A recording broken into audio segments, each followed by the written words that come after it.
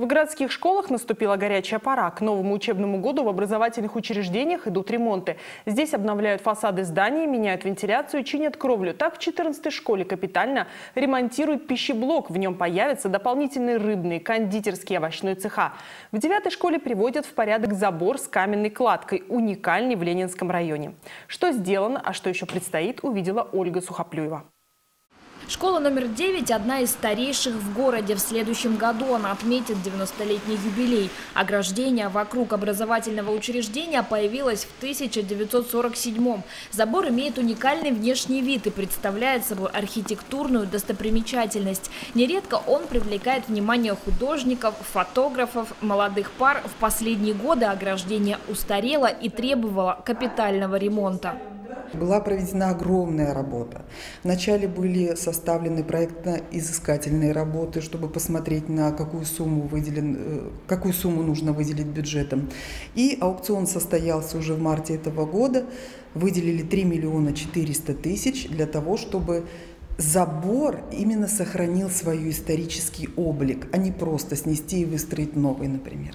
Перед подрядчиком стоит непростая задача привести в порядок чугунные столбы, кованую решетку, каменные колонны, а также прилегающую территорию. При этом важно сохранить исторический облик забора. Тут очень много резных элементов на лицевой части. Там очень много фасок, очень много различных э, ну, парапетов, где это все нужно выравнивать, делать. Даже у нас э, на колоннах вот эти колпаки. Не каждый мастер это сможет делать. Ну, это у нас не просто ровная голая стена, которую нужно заштукатурить, зашпаклевать. А это колоссальный труд и очень большая ответственность. Работа кропотливая и требует недюжинных усилий. Больше половины намеченного уже выполнили. Выкорчевали деревья, демонтировали восстановили старые конструкции. Частично заменили асфальтовое покрытие. Насколько качественно, покажет время. Подрядчик дает гарантию на 5 лет.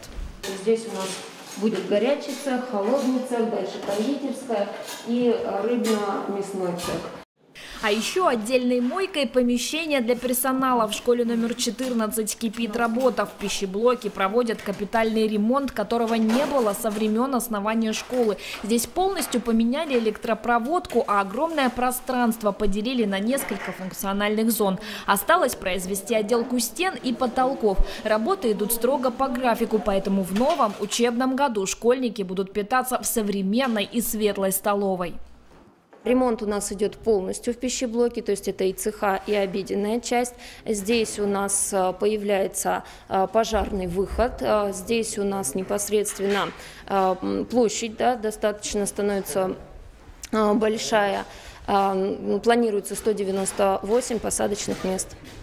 В школах помимо текущих идут косметические ремонты, обновляют кабинеты, коридоры, спортивные, актовые залы. На подготовку образовательных учреждений к учебному году деньги выделяют из городского бюджета. Помощь оказывают шефы и металлургический комбинат. На приобретение необходимых материалов и техники ежегодно руководство градообразующего предприятия выделяет около 3 миллионов рублей. Ольга Сухоплюева, Александр Маргунов, телекомпания ТВИ.